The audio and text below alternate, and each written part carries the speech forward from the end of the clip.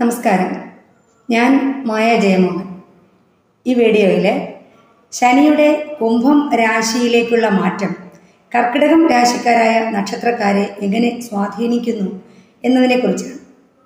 രണ്ടായിരത്തി ഇരുപത്തി മൂന്ന് ജനുവരി മാസം പതിനേഴാം തീയതി കുംഭം രാശിയിലേക്ക് ശനി പ്രവേശിക്കുകയാണ്. രണ്ടായിരത്തി ഇരുപത്തി അഞ്ച് മാർച്ച് മാസം പതിനഞ്ചാം തീയതി വരെ ശനി കുംഭൻ രാശിയിൽ ഉണ്ടായിരിക്കുകയും ചെയ്യും.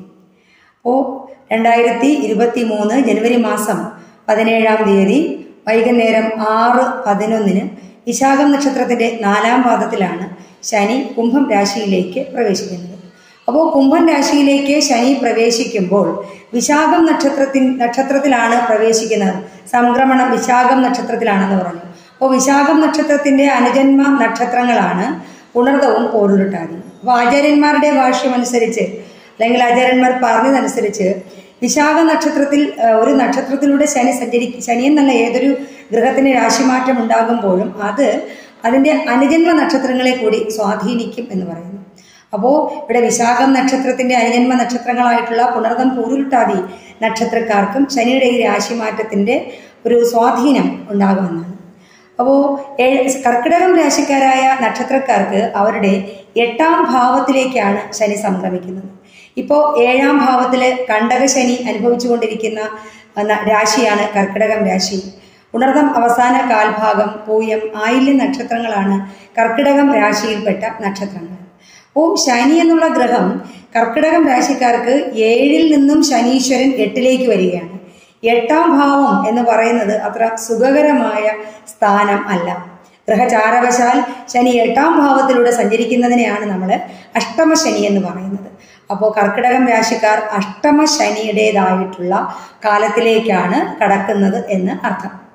എന്നാൽ ഏപ്രിൽ മാസം ഇരുപത്തി രണ്ടാം തീയതി വരെയുള്ള സമയം വ്യാഴം അവർക്ക് ഒൻപതാം ഭാവത്തിലുണ്ട്.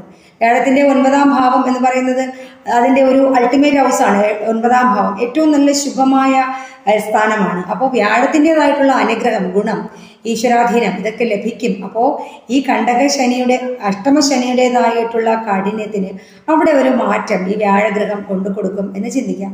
അത് കഴിയുമ്പോൾ വ്യാഴം പത്താം ഭാവത്തിലേക്ക് മാറുന്നു. പത്താം ഭാവത്തിലേക്ക് രണ്ടായിരത്തി ഇരുപത്തി നാല് ഏപ്രിൽ വരെ വ്യാഴം പത്താം ഭാവത്തിലുണ്ടാകും. അപ്പോൾ ആ വ്യാഴത്തിന്റെ ആ ഒരു കർമ്മരംഗത്ത് എന്തെങ്കിലും വിഷമതകൾ വരികയാണെങ്കിൽ അതിൽ മാറ്റം ഉണ്ടാകും അത് പറയാനുണ്ടായ കാരണം ശനി എന്നുള്ള ഗ്രഹം കർമ്മകാരകനാണ്.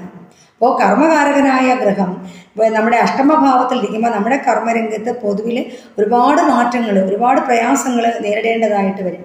അൺഎക്സ്പെക്റ്റഡ് ചലഞ്ചസ് നമുക്കുണ്ടാകും ലൈ- ആ ഒരു ടൈമിൽ ഈ ഒരു രണ്ടര വർഷക്കാലം. അതുപോലെ തന്നെ ഒരുപാട് പ്രയാസങ്ങളെ നേരിടണം. എട്ട് എന്ന് പറയുമ്പോൾ നമുക്ക് പല എട്ടിന്റെ പണി കിട്ടി എന്നൊക്കെ പറയുന്നില്ല? അതുപോലെ തന്നെ ആ ഒരു ഒരുപാട് പ്രയാസങ്ങൾ അനുഭവപ്പെടുന്ന ഒരു സമയമാണ്. അപ്പോൾ നമുക്ക് ഈ ഒരുപാട് പ്രയാസങ്ങൾ എന്ന് പറയുന്നത് നമ്മുടെ ലൈഫിൽ ഒരുപാട് ഡിഫിക്കൽട്ടീസ് നമ്മൾ ഫേസ് ചെയ്യേണ്ടതായിട്ട് വരും. നമുക്ക് എന്തെങ്കിലും ഡിസിഷനൊക്കെ എടുക്കുകയാണെങ്കിൽ നന്നായിട്ട് ആലോചിച്ചതിന് ശേഷം മാത്രമേ ഒരു തീരുമാനം ഉണ്ടാകാവൂ ഇല്ല എന്നുണ്ടെങ്കിൽ നമ്മൾക്ക് അവിടെ നമ്മൾ പരിഹാസ്യരാകാനുള്ള സാധ്യത.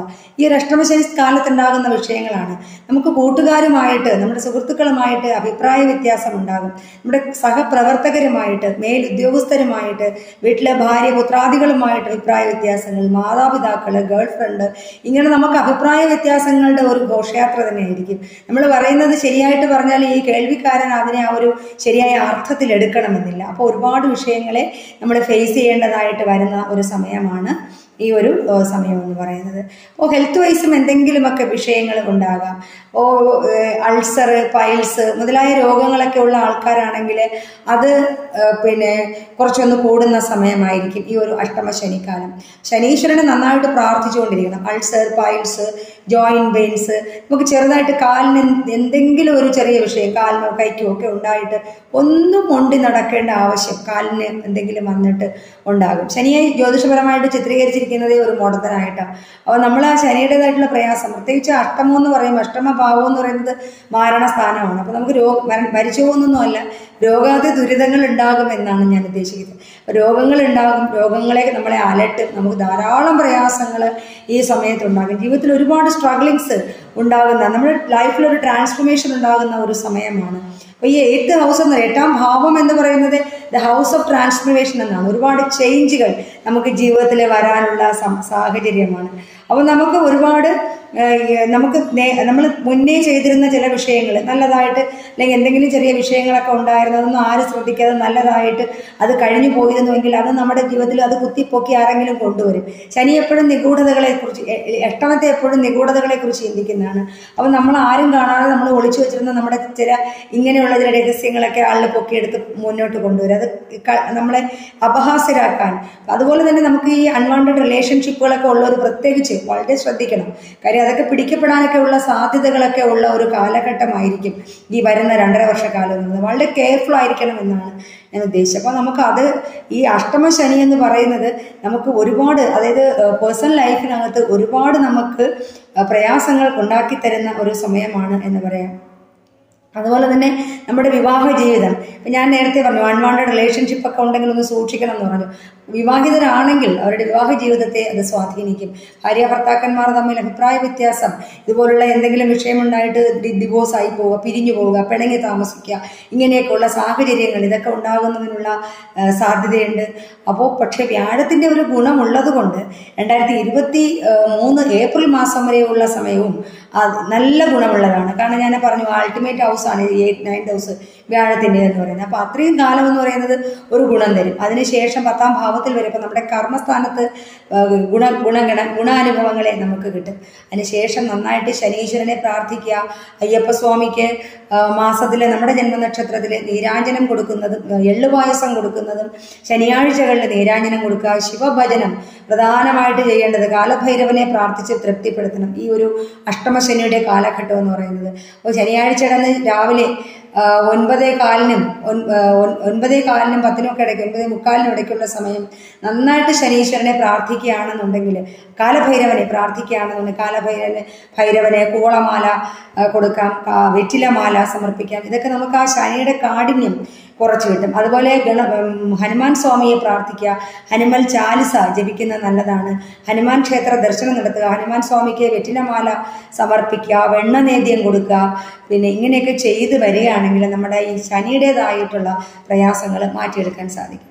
നമ്മുടെ ജാതകത്തിൽ ശനി ശുഭസ്ഥാനത്ത് നല്ല ബലവാനായിട്ടൊക്കെ നിൽക്കുകയാണെന്നുണ്ടെങ്കിൽ ഞാൻ ഈ പറഞ്ഞ ഫലങ്ങളിലെ ചെറിയ ഒരു മാറ്റം ആ വ്യക്തിക്കുണ്ടാകും. അതേസമയം ശനി നീചനാണെന്നുണ്ടെങ്കിൽ അതായത് പ്രത്യേകിച്ച് മേടൻ രാശിയിലോ അഷ്ടമത്തിലോ തന്നെ ജാതകത്തിലിരിക്കുന്ന ശനി.